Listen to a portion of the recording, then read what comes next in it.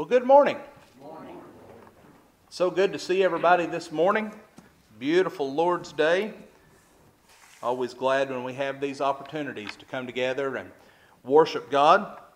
So good to have each one of you with us today. If you're visiting with us, we want to extend a special welcome to you and invite you to come back and worship with us here at Pyburn Street anytime that you may have the opportunity to do so. Want to remind everyone that tonight is our monthly singing night. And it's been, of course, right at a year since we've had one of our singing nights. And we always enjoy those times of uh, coming together and various men in the congregation leading us in song. And we encourage you to come back tonight at 6 o'clock for our monthly singing night. This morning, if I were to ask you, do you know what the Great Commission is? How many of you would know? I'm sure many of you would be familiar with the term because we talk about the Great Commission quite often in our services here at Pyburn Street. But how many of you really know what the Great Commission is? Well, let's take it a step further. How many of you know where it's found in the Scriptures? How many of you know how it applies to the Christian life. In an October 2017 Barna Group study, they uncovered a rather strange but rather revealing statistic. They surveyed 100 churchgoers. 51% of those that were surveyed said that they had never heard of the Great Commission before. 37%. Well, let me back up. 37 of the 49% could pick the Great Commission out of a section of Scriptures. Less than that, 17% responded that they knew the Great Commission and could quote it. Less than 10% could turn to it in the Scriptures and show you where to find it. As sad as those statistics are, my experience has been that even among the 17% who claim to know the Great Commission, really understand the Great Commission, really know what this passage of Scripture is referring to. And this morning I would like for us to take a look at the Great Commission. As Brother Mike told you, and as I'm, saw, I'm sure you saw in the bulletin, I have entitled this lesson this morning, A Greatly Misunderstood Commission, intended to be a play on words. But hopefully, at the end of our lesson this morning, we will all have a better understanding of this command from Christ, and we will better know how to apply it to our Christian lives. But first, let's start off with the question what is the Great Commission? Well, when Jesus left heaven, he emptied himself of all of the glories of heaven and came to earth, took on the form of a man, and he came here with a purpose. We're told in Luke chapter 19 and verse 10 that the Son of Man came to seek and to save the lost. Now, before Jesus came, before he went to the cross and shed his blood. Those that lived under the age of the patriarchs and those who lived under the law of Moses did not have the ability to have their sins forgiven. They were able to offer sacrifices and things of that nature to appease God and to carry those sins over from year to year. But their sins could not be taken away. They were still binding upon them. But over time, when the proper age came, God's love for this world was such that he sent his only begotten Son, with the understanding that whosoever believeth in him should not perish but have everlasting life. John 3 and verse 16. Well, consequently, when Jesus was nailed to the cross, when that precious blood flowed from his body and his physical life left him, it became possible for us to have forgiveness. Forgiveness of sin was made available to all of mankind. Those who faithfully lived under the age of the patriarchs, that blood flowed back and cleansed their sins. Those who were faithful to the law of Moses, the blood did the same. And from that point forward, even up through today, all of those who would live a faithful Christian life, the blood of Christ continues to cleanse our sins as we walk in the light, as we do His will. Well, following Jesus' death and resurrection, He spent 40 days with His disciples, teaching them things pertaining to the coming kingdom. Remember, these were the individuals who were going to be the initial leaders in that kingdom. They were the ones that were going to usher in the coming of the church. Well, as he neared the end of that 40 day period and as the time of his ascension back to heaven drew closer, he extended a challenge to these men. This challenge is what has come to be referred to as the Great Commission. Matthew records the most detailed account of this commission. Brother Carey shared this with us just a few moments ago and appreciate so much him sharing that with us. Matthew 28, verses 16 through 20. If you would turn back there and look at this passage with me once again. It says, Then the eleven disciples went away into Galilee, into a mountain where Jesus had appointed them. And when he saw them, or when they saw him, he, they worshipped him, but some doubted.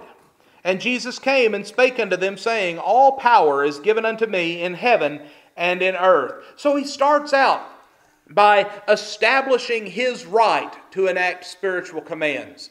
He starts out by showing that since he has all authority, the message that he was about to deliver to them was going to become a part of God's will for Christians.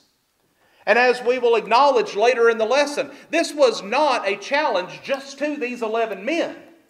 This was not something that was expected only of this first generation of leaders in the church.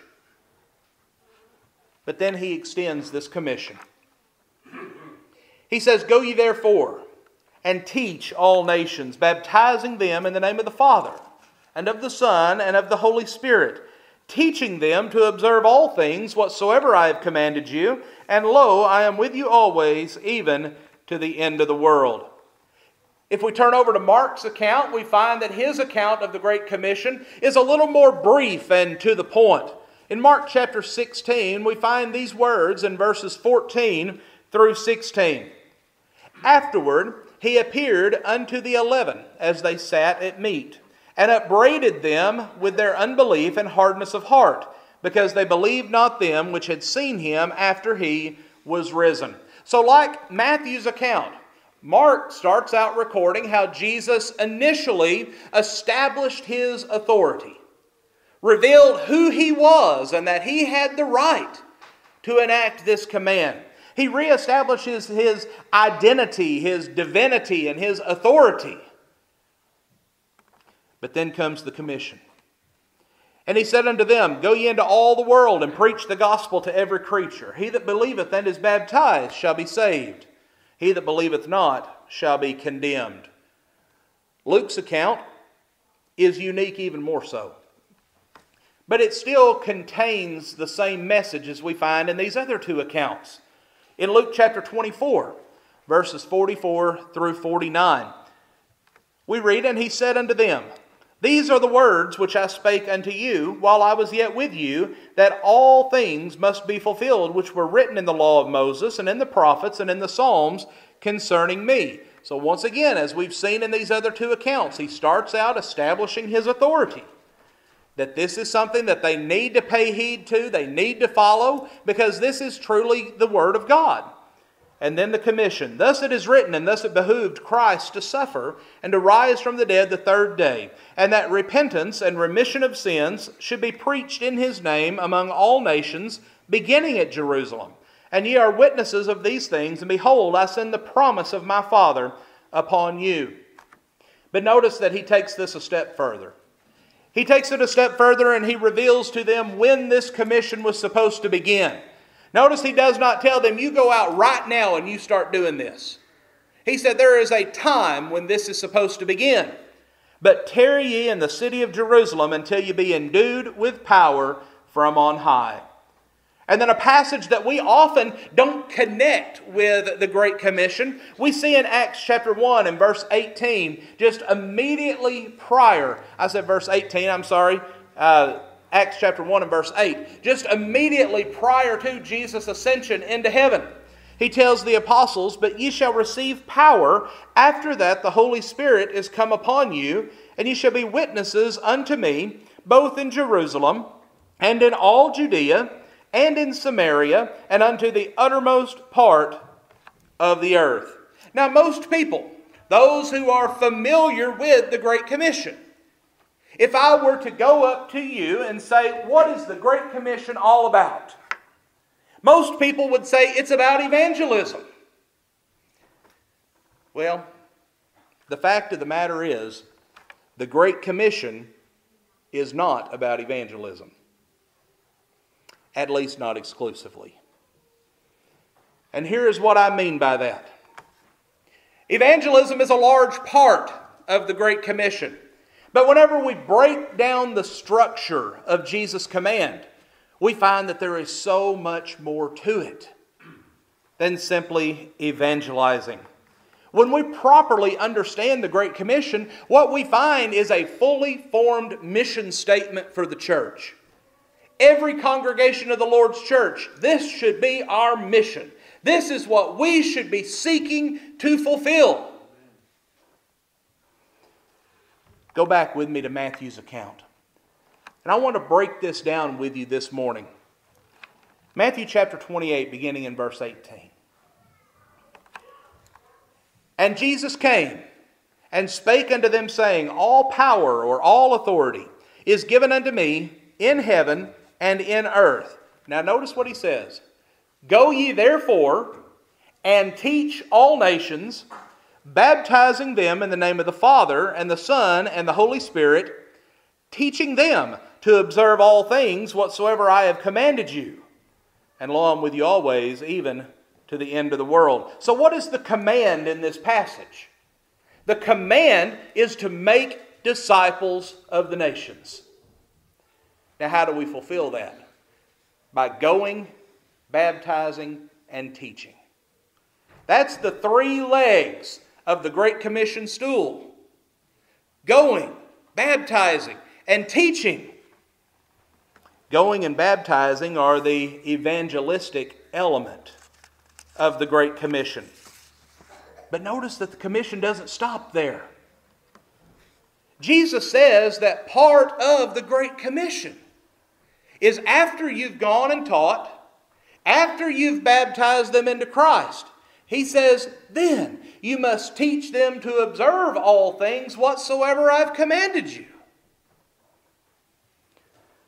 This action takes place after the elements of evangelism. There is more to the Great Commission than just getting people in the water.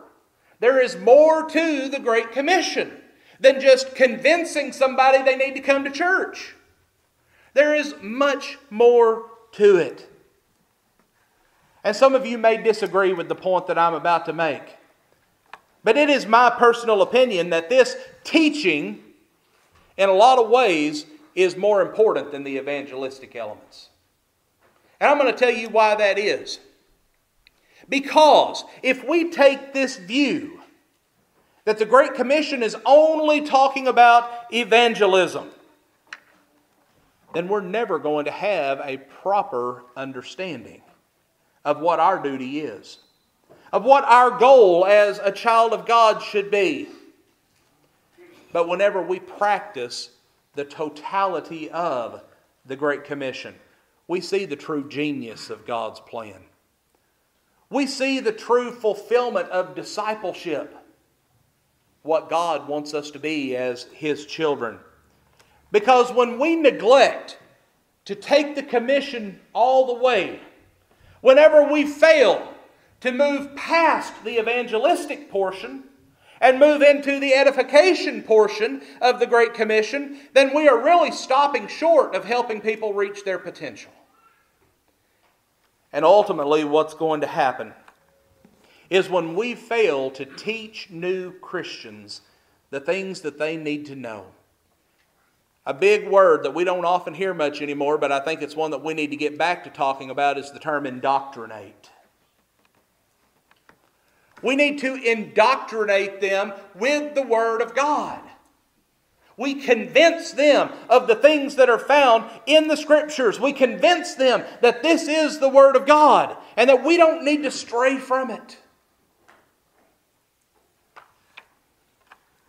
But if we don't teach them to observe all things, then we run the risk of them falling back into the world or even beginning to teach false doctrine and leading many people astray along with them.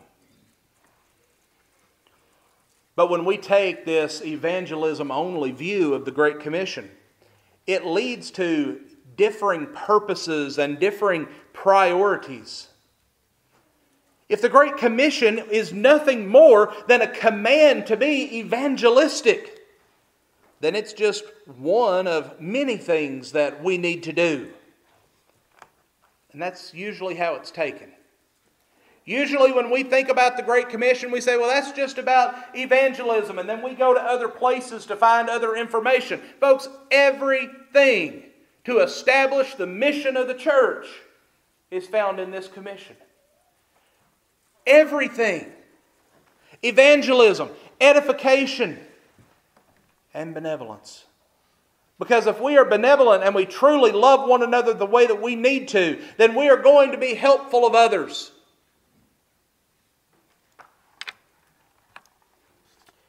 but also as we grow and we mature as children of God, we're going to develop our own unique abilities, our own unique talents. God has blessed each and every one of us in different ways with different abilities. There are things that you're able to do that I'm not able to do, and vice versa. Each and every one of us have things that we can do and should be doing to help people grow to maturity. But if we don't reach that point ourselves, we're never going to develop those talents. We're never going to develop the desire to use what God has given to us. But also, if we take this evangelism only view of the Great Commission, then it's going to keep people, as I've already mentioned, from reaching their God desired maturity. God doesn't want us to stay babes in Christ, folks. But it's a very sad commentary on the church today that nearly, if not every congregation of the Lord's church that you find, there will be members in that congregation that have been Christians for many years but are still babes in Christ. Sadly, we see many congregations of the Lord's church today being led by people who are still babes in Christ. Why? Because they weren't taught to observe all things. You know, it's exciting when someone's baptized into Christ, isn't it? It's an emotional thing to witness. It stirs us up, it excites us. And so many times we think, you know, we, we finally got this person baptized. It's so wonderful this person is a Christian. And we stop right there. That encouragement that we had been giving to them before, it stops. The teaching and the guiding, it stops. We can't do that. We have to go past evangelism. We have to help people grow to spiritual maturity. In Ephesians chapter 4, verses 11 through 16, Paul gives us a very practical view of what it looks like to carry out this often forgotten third leg of the Great Commission, that of edification. He tells us that we are to go, that we are to baptize, we are to teach. But something that we have to keep in mind as well is in that last portion, we go, we baptize, and we teach. But in our teaching, we better also be teaching them how to go and baptize and teach. Because the generation that's here today is not always going to be here. The generation of soul winners that we see in the church today one day is going to be gone. A new generation is going to rise up. And what have we done to equip them? Have we indoctrinated them with the truth? Have we encouraged them and taught them how they need to be fulfilling this great commission? But go with me to the book of Ephesians. Paul says, And he gave some apostles, and some prophets, and some evangelists, and some pastors and teachers for the perfecting of the saints, for the work of the ministry, for the edifying of the body of Christ, till we all come in the unity of the faith and of the knowledge of the Son of God unto a perfect man unto the measure of the stature of the fullness of Christ, that we henceforth be no more children, tossed to and fro, and carried about with every wind of doctrine, by the sleight of men and cunning craftiness, whereby they lie in wait to deceive, but speaking the truth in love, may grow up into him in all things, which is the head, even Christ from whom the whole body fitly joined together and compacted by that which every joint supplieth, according to the effectual working in the measure of every part, maketh increase of the body unto the edifying of love in itself. What this is talking about are those who have grown to spiritual maturity, who are the leaders in the church, who are the teachers in the church, and, folks, when I say the teachers in the church, I'm not just talking about the ones that stand in the Bible classroom. I'm talking about each and every one of us when we go out here into the world. No, we may not be opening our mouths and turning to the scriptures and, and proclaiming the Word of God to people, but you better believe we're teaching with our life. There are people that we are teaching each and every day by what they see in us. The way we interact with others, the way we treat our family, the way we treat our co the way we treat our coworkers, the words that come out of our mouth. We are teaching people every day. And what's the purpose for that teaching? Because we want to equip saints. What's Paul say there? He says that all of these different positions, some of these were exclusive to the first century, some still exist today. But he said the reason that there were all these positions fulfilling all these different things was for the edification of the body. We build one another up using the strengths that we have, using our abilities to edify not only individual members, but to edify the church as a whole as well. But whenever we separate evangelism from discipleship, Rarely do we see a new convert that's going to stick around. Rarely do we see a young Christian that is going to complete their spiritual maturity and get to the point where they're able to teach and encourage others. It's not unless someone recognizes the importance of the Great Commission.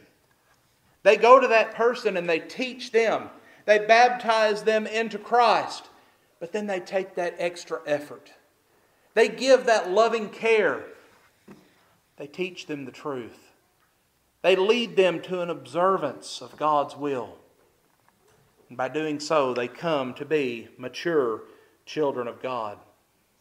But sadly, this doesn't always happen. And this is why the old adage so often rings true that 90% of the work in the church is done by 10%. So often, that's the case.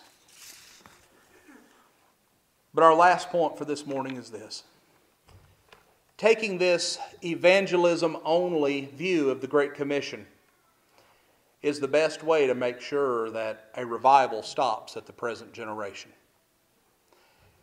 You know, we like to talk about the good old days, don't we? You know, from the things that I've told you in the past, I love to study church history. I love to go back and read about great gospel meetings that took place in years gone by. I love hearing about the meetings that took place here at Pyburn Street many years ago where so many people were led to Christ. And we think about uh, what we commonly call those glory days. It doesn't have to end, folks. It doesn't have to end. And it shouldn't end.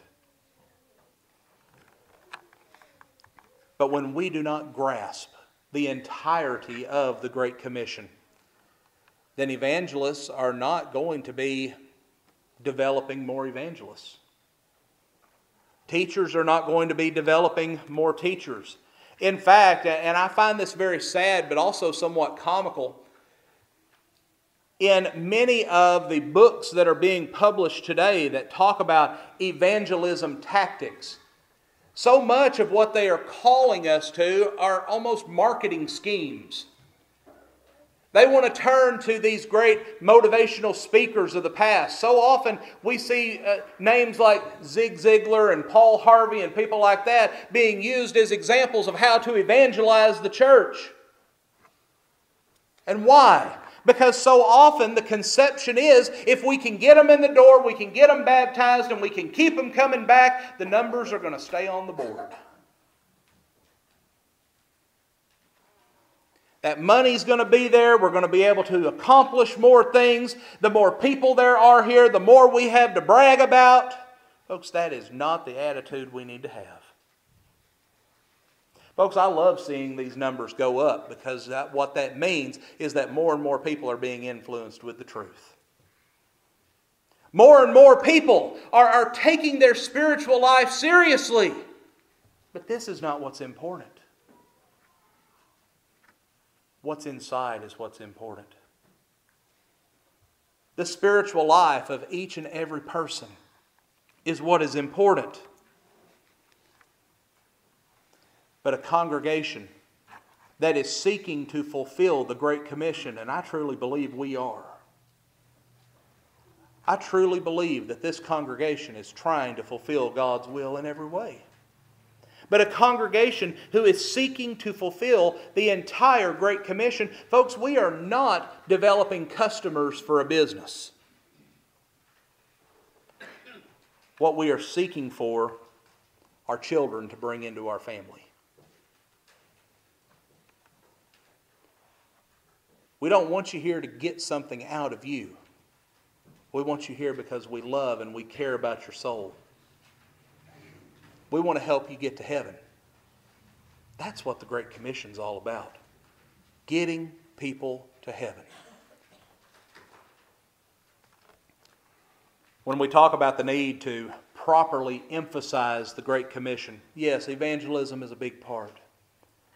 It is the first part because without evangelism, you're not going to become a child of God. But we need to remember that it's only a part. It's not the whole. And rather than merely emphasizing a part, let us develop a greater appreciation for the totality of the Great Commission. Let us reorient ourselves around the Great Commission. Make that our mission in life. That we're going to go out and seek to save the lost. That we're going to teach and encourage our brothers and sisters. We're going to help people grow to spiritual maturity.